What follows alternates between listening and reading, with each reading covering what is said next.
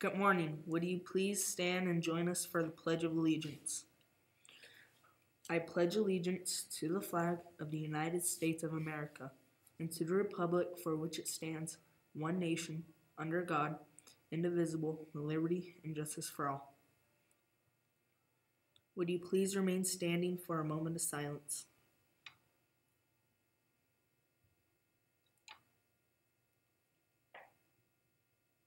Would you please be seated? And now for the show. Good morning, Shea Scorpions. It's Friday, April 29th, and you are watching Shea TV. Coming up next week, May 2nd and 6th, is Teacher Appreciation Week. Now is a great time to show you our favorite teachers some kindness.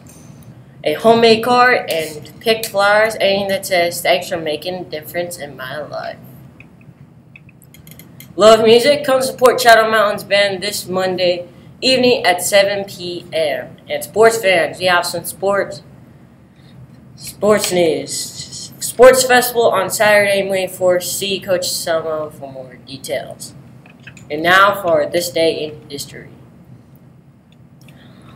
On on this day in history, on April 29, 2004, the National World War Memorials opened in Washington, D.C to thousands of visitors for running overdue regulations to the 16 million U.S. men and women who served in the war. The memorial is located on 7.4 acres on the former site of the Rainbow Pool on the National Mall between Washington Monument and the Lincoln Memorial.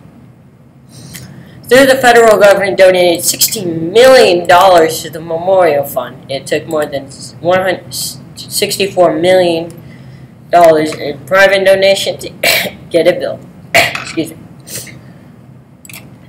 The students of the week are Nathan Hicks and Alana Krug. Tune into the Shea TV to hear what the teachers had to say. It's that time of year again. The last day for checking out library books are here at Shea on April 29th. All library books checked out from now until April 29th are due back on Friday, May 6th. If you need a library book past May 6th, you'll need to go to a public library to get your book. So make sure you get these books you wanted to read checked out by then and finish reading them before May 6th. Remember, read, read, read, and enjoy. Remember, AR Reading Awards are also end on May 6th. And now for our favorite topic, lunch. Today's lunch choices are spicy chicken sandwich, cheese pizza, fruit and cheese pack. I'm Andrew. Have a great day, Scorpions. And now for sports. Big news. The Shea Scorpion wrestling team is meeting at Desert Shadows for a wrestling match. It's on Tuesday, May 3rd, and it starts at 4.30. So please come and support your Shea Scorpion wrestling team because we will be going against Desert Shadows and Mountain Trail. So please come and support us.